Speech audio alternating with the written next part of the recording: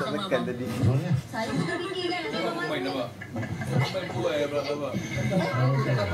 Lah uh, Ustaz tu nak cakap uh, Di mana cakap kita keluarkan dua-dua sekali Kalau bahaya kalau kita keluarkan satu pihak saja Walaupun pihak tu betul Siapa betul siapa salah tu bukan kerja kita Kita cuma siarkan orang nak cakap Kasihlah dia orang cakap ya? Kata majlis tu diadakan Bagaimana kita nak Kami nak buat injansi mahkamah. Uh, untuk perhatikan ni bulan 4 hari tu kan apa-apa atas tu Kita Kita dah ada seorang pemilik Ya, dia tak sebut nama saya. Ah, Business conglomerate tapi dalam surat khabar tak mention. Uh, dah kita agak semua saya nak bagi sahabat. Pihak you ingin menyaman Ustaz Nur Hisham Aduh-aduh pemilik Al-Fafa Mungkin you boleh jelaskan Apakah itipati sidang media tadi Sebenarnya kita nak filekan dekat mahkamah Kita akan saman 3 juta terhadap Al-Fafa Group Bila tengok dalam cerita ni dia tipu ustaz, tak ada nama Ustaz Nur Syam pun.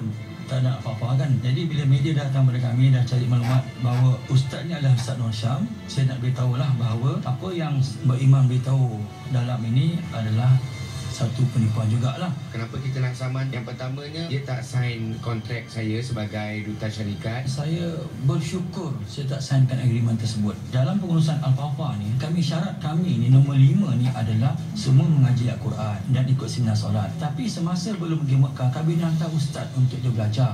Tapi diabaikan. Semasa akhir Ramadan, saya bawa dia dengan kos penanya syarikat tanpa satu sen pun duit dia, kami bawa ke Jordan, ke Mekah, ke Madinah. Di sana sebagai ujian untuk dia. Bila dia Mekah, dia buat benda-benda yang melanggar syarat.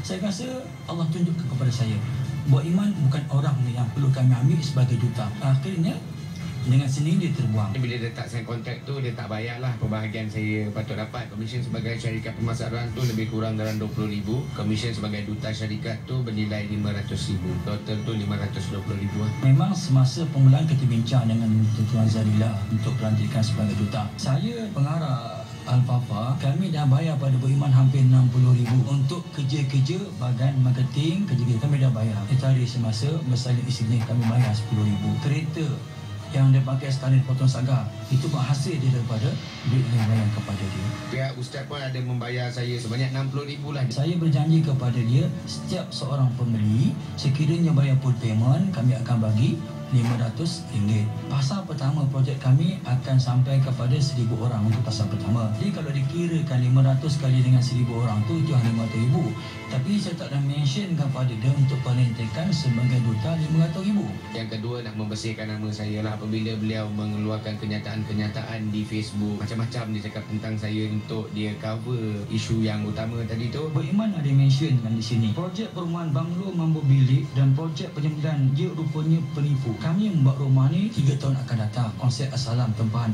Syarat pertama yang kami bagi sini pun 3 tahun. Tidak boleh mereka mendudukan kami menipu sekarang. Sedangkan pembeli kami yang kami bayar sekarang ni RM500 setiap bulan selama 2 orang pun semuanya telah terima. Semasa kami pergi ke Jordan Semayang di sebelah makam Nabi Syuaib Orang lain dengan pakaian menutup aurat. Dia boleh terdedah aurat dia. Malulah saya. Jemaah lain tegur saya Ustaz Di duta Ustaz. Semayang pun sujud pun Nampak?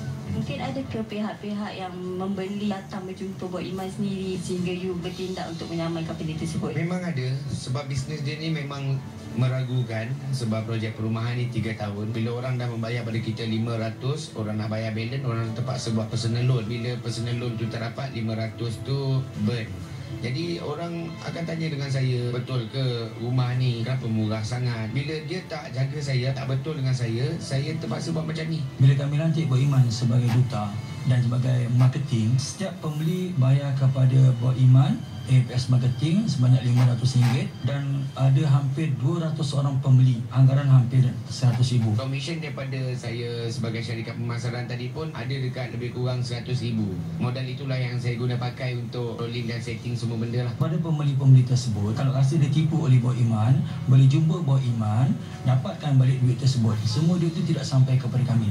Yang sampai kepada kami bila pembeli itu untuk buat bayar penuh. Kami dengan pihak pembeli kami ada agreement. Bila pembeli nak bayar payment baru pembeli jumpa pada kami untuk agreement itu tanggungjawab kami setelah 200 orang bayar kepada Buat Iman tidak ada seorang daripada tersebut yang datang membayar full payment. Kami telah follow up baru mereka datang pada kami. Sebab Buat Iman menjanjikan mereka boleh bayar sampai 6 bulan. Mereka boleh dapat loan tapi bila Buat Iman tinggalkan, tidak follow up mereka. Ini jadi masalah. Sekarang ramai yang tipu mereka kami, duit kami dia bayar RM500 pada Buat Iman. Tapi apa yang dijanjikan tidak dibuat. Saya buat sidang media ni adalah satu surat yang terakhir saya bagi pada Ustaz di mana jika beliau tidak respon atau tidak memberi sebarang maklum balas kepada saya, saya akan filekan di mahkamah lah. Hari ini kami lantik Puan Hikmah sebagai program yang akan ambil tindakan ke mahkamah Kita jumpa di mahkamah lah.